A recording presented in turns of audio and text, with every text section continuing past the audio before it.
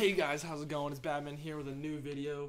So, if you didn't see by the title of this video, something happened at work this weekend, and I felt like it was just another little story I could share with y'all just to give you some insight on my life. So, it was a pretty easy day, so if y'all don't know what I do already for a job, um, what I do is I work in a parking garage as to where there can be huge events, which is large, some people, and I know that day it had about 300,000 people there, maybe 250,000. And so traffic gets backed up. And so they have us in the garage directing traffic and making the flow, making sure no one gets in accidents, doing all that, etc., etc. And um, it was a big event. And traffic was, oh my god, it was so slow. It, it was it was really bad. But anyways, people just gotta be patient with us. You know, we're doing our job. We can't move traffic below us we're in the third level. Third level. And so below us is where it gets jammed up, and then we can't push anyone down because it's jammed. Nothing we can do. You know, I didn't even get that death. That's freaking awesome. My friend, uh, the guy in the Fortnite video, if y'all didn't see that, there'll be a link in the description below.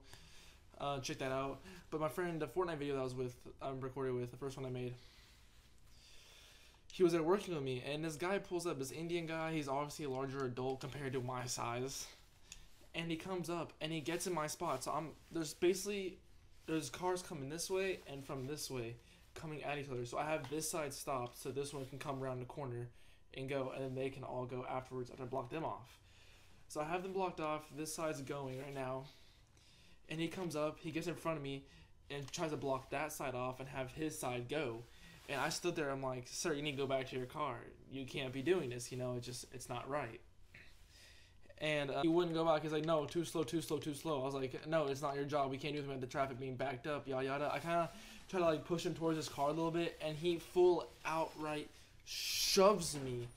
And like it got to the point where my friend was walking over to see what was happening and like make sure you know everything was good, thinking I might fight this guy.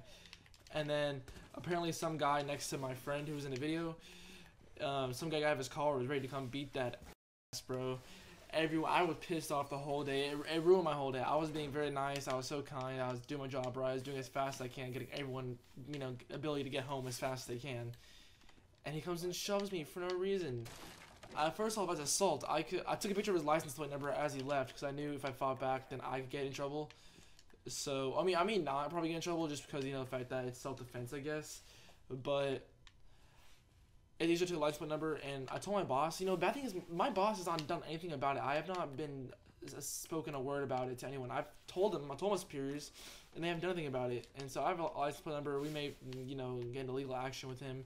Not too sure if it's worth it. I mean, it's a small little, it's just one little small thing that happened at work. Not, I'm not, you know, I can deal with it.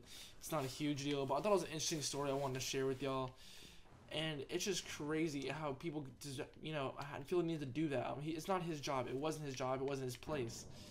He, I don't know. It made me mad because I was going obviously as fast as I freaking possibly could. You know, where's all this stuff coming from, yo? But guys, this is a really, really short video. I just wanted to make it to, you know, tell a story for y'all. I hope you enjoyed this video. Please leave a like, subscribe, turn that notification button on, and I'll see y'all next time.